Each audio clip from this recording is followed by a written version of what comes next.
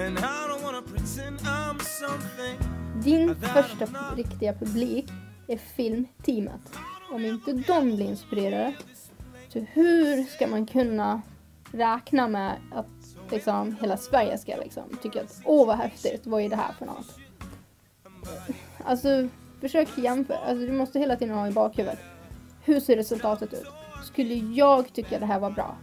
Eller skulle jag tycka, ah nej men vänta, det där har jag sett förut i Beck eller vad det nu skulle vara. Nej men då är det inte bra. Gå tillbaks, se vad felet är. Liksom ändra på det. Och försök inspirera dig själv, överraska dig själv som manusförfattare. Om inte du gör det, då vet du att där har du liksom, där ska du mäta det. Om det funkar för dig, självklart kanske det funkar för tio andra, vilket kanske funkar för många fler.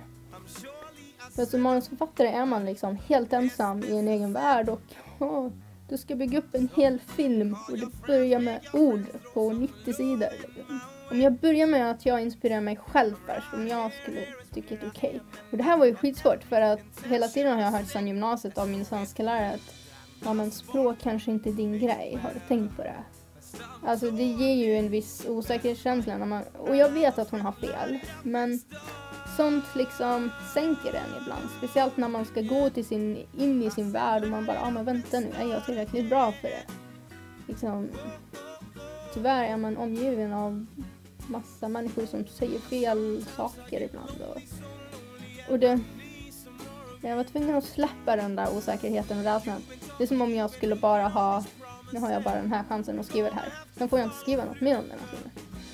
Då släpptes allting och till slut så var jag inne i världen, i den här filmvärlden för den här historien och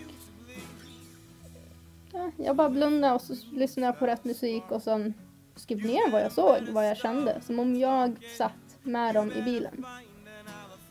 I och för sig den här stunden i den scenen så var det inne i köket. Men okej, okay.